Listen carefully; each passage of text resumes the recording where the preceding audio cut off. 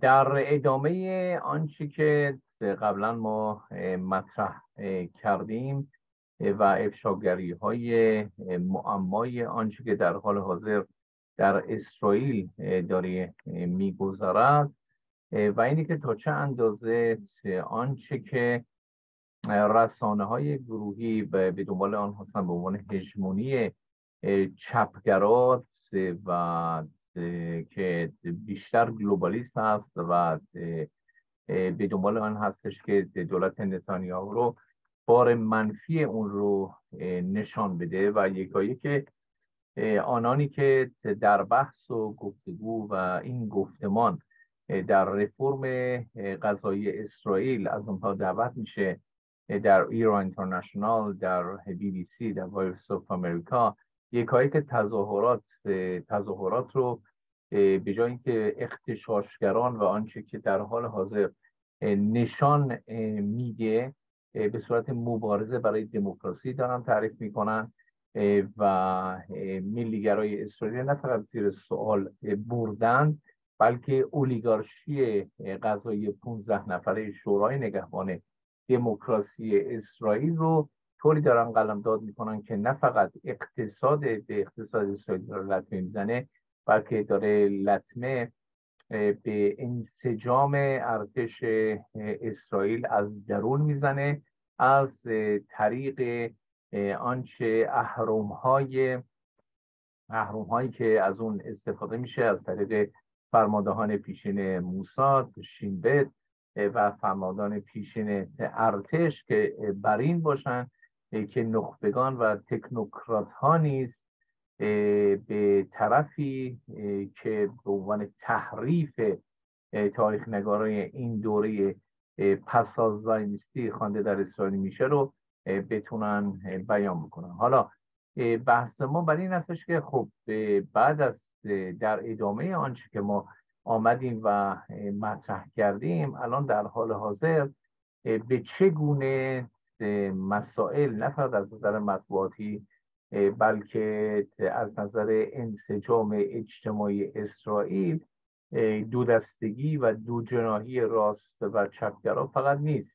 ممکن در هر کشور دیگه باشه. بلکه دولت در سایه که جز نخبگان تکنوکرات های اسرائیلی چپگرای اسرائیل از اوان تاسیس اسرائیل 75 سال یا 100 سال پیش بودند از کلخوزها از اروپای شرقی از روسیه آمده بودند و نهادینی کردن سوسیال دموکرات در اسرائیل برای جذب مهاجران تازگی از کشورهای اسلامی آمده بودند کشورهای اروپایی آمده بودند و غیره اینها. مراحلی رو و فرایندی رو اینها به پیش گرفتن برای پیشبرد اهداف خودشون و اینی که از یک طرف دیپلماسی امنیت ملی و از طرف دیگه اقتدار خودشون رو با 1977 که بگین روی کار آمد بتونن حفظ کنن. مثلا 1981 که دیگر می‌دونستن که اگر در 1985 به حال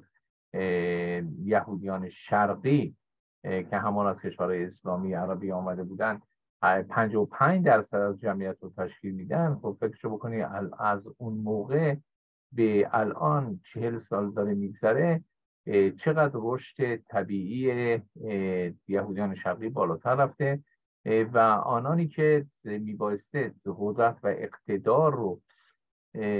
حفظ بکنن از نظر سوسیالیستی عراضی رو در بر گرفتن 86 درصد از عراضی اسرائیل در دست مشاوی کیبوسی و شمروت و تبا هستش. مراتع و به صورتی آمدن و اون رو بگونه برای دیویست سال مصادره کردن به نام نه به نام ملی کردن اونها بلکه در دست یک گروه یا جناه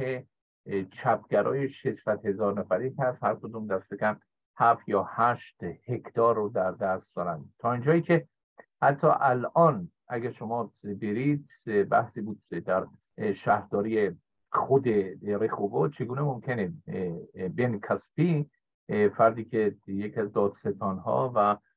مشاوران عالی حقوقی در اسرائیل هست چگونه از 65 هکتار هکتار کشاورزی زراعتی رو در اختیار داره در مرکز خود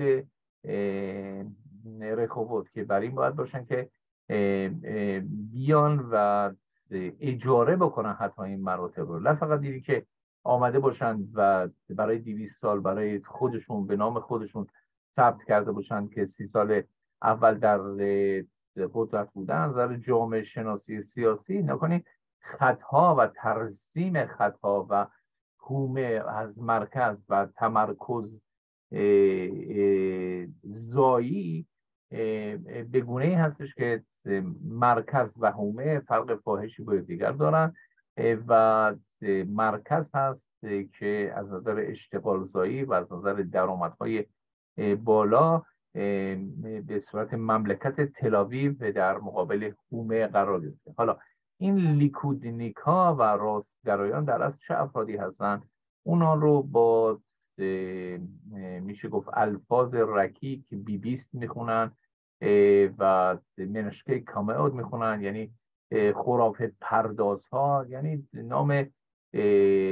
آنان رو به جایی که بگن که بله ما روشنفکر هستیم پروگرسیو هستیم لیبرال دموکرات افراطی هستیم بله ما پیشرفته هستیم ما به دنیای گلوبال بیشتر وصل هستیم تا اونایی که به زمین وصل هستند اونها به قول بگین کاپیتالیسم رو دوست ندارند ولی همین سوسیالیزم که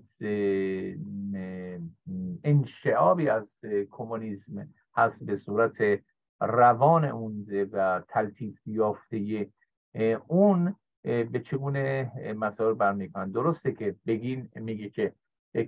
کاپیتالیسم رو دوست ندارن ولی کاپیتال و سرمایه داری رو چرا دوست دارن ولی که خودشون جزو افراد سرمایه دار هستن. همینطور که کوبی ریختر یکی از سرمایه گذاران بزرگ اهود باراک در حال داره میگه نبرد برای دموکراسی ادامه دارد. برای اینکه ما فرماندهان ارتش رو ساختیم ما اقتصاد مملکت رو ساختیم و همه چی در دست ما هست. ما می‌تونیم تغییر و تحول رو بیایم پیش میگیم و چشمانداز ما در از